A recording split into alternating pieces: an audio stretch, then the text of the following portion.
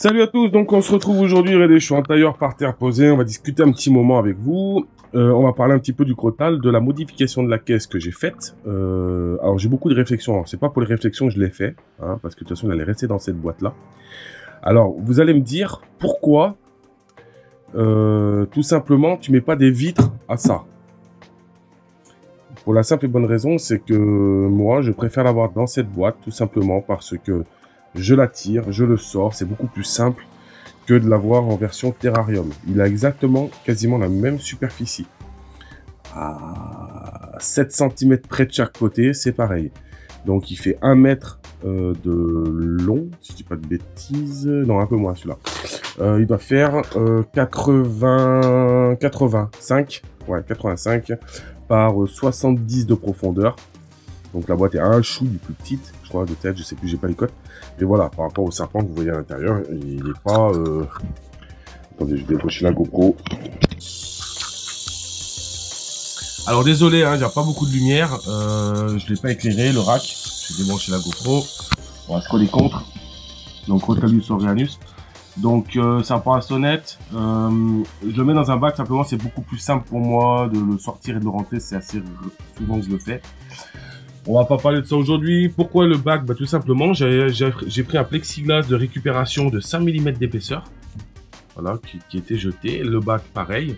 Euh, j'ai découpé mon bac à la scie sauteuse. Alors, comme vous avez pu voir en photo sur Instagram, j'ai commencé à couper avec euh, un fer à souder. Ça allait pas, ça allait trop doucement. J'ai essayé la à métaux, ça allait très bien, mais c'était saoulant. Et j'ai pris carrément la scie sauteuse parce que le bac est de bonne qualité.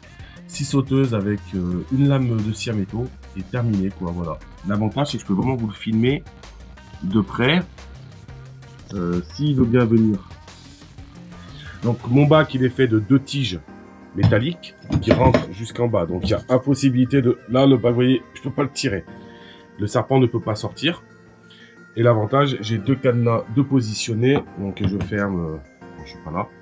Au moins l'avantage c'est que je sais que personne peut attraper ce serpent. Il n'y a aucun moyen de le sortir. Alors certains vont me dire, ouais, c'est un peu abusé. Bien entendu, je pourrais laisser tout simplement les tiges. Voilà, il ne peut pas sortir non plus. Je pourrais même enlever les tiges. Euh, le serpent, lui, ne va pas ouvrir la boîte. Mais par sécurité, voilà, je préfère, euh, je préfère les mettre. Donc comme vous pouvez voir, euh, c'est un serpent qui est assez, moi j'ai assez sympathique. Je trouve dommage de ne pas pouvoir le voir. Donc j'ai décidé de faire cette petite modification. J'ai quand même siliconé vous voyez ici, un petit boudin de silicone que j'ai laissé brut, qui est bien collé. J'ai laissé sécher la boîte une journée. Et avec de la vis plate, euh, voilà, l'autre côté, euh, c'est comme ça. De toute façon, c'est pas... ça craint rien. Bon, je vais pas les mettre dedans, hein, je suis désolé, hein, bien entendu. J'essaie de vous faire rapprocher le près de la vitre pour que vous puissiez le voir. Je vais décaler pour que vous puissiez le voir un peu mieux. Regardez, je suis vraiment contre la vitre. C'est un serpent qui tape parce qu'il est vraiment, euh, assez craintif. J'espère que vous le voyez bien. Voilà, je sais que beaucoup attendaient cette vidéo. Je vous ferai une vidéo euh, nourrissage quand même un jour. je pense qu'on verra bien euh, ce que ça donne au niveau YouTube, au niveau de la communauté. faut savoir c'est que je le nourris au vivant. J'espère que je vais pouvoir zoomer, ce serait bien. Je sais pas si je vais pouvoir. Ah si je peux zoomer. Regardez comme c'est cool. C'est vraiment atypique, j'adore la tête. Donc je prendrai une canne de déportée pour pouvoir vraiment ah, j'ai une petite rayure sur le Une canne déportée. Vous voyez, je suis derrière la vitre, il cherche même pas forcément à taper. Hein. Il cherche pas forcément à taper. Voilà, c'est vraiment pour votre plaisir, hein, je vous le montre. J'ai trouvé sympa l'idée de mettre euh, de mettre ce plexi. Vous voyez, moi quand j'entre dans ma pièce, boum, voilà ce que je vois quoi. C'est vraiment sympa. J'adore l'idée quoi. C'est vraiment, je trouve ça terrible. Bon, faut savoir qu'au-dessus, là, le terrarium, il reste comme ça. Et qu'au-dessus, il va y avoir encore trois terrariums de 32 cm de haut par 47 cm de profondeur par 1 mètre de large.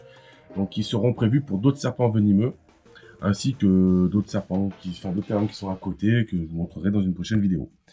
Voilà, j'espère que ça vous fait plaisir. Euh, je avance un petit peu. Je vais la vite, c'est juste pour que la lumière de la pièce, en fait, l'éclaire. Voilà, je pense que vous verrez mieux, mieux comme ça. Je reste derrière la vitre, hein, je suis désolé. Hein. Bon on s'est compris. Alors, euh, j'ai fait cette séance vidéo il y a à peu près 10 minutes, sauf que j'avais pas allumé la GoPro. Donc je la refais, tout simplement. C'est souvent, hein. c'est souvent. C'est vrai que je peux pas... Il veut pas trop bouger. C'est pas un serpent qui est trop, euh, trop à bouger.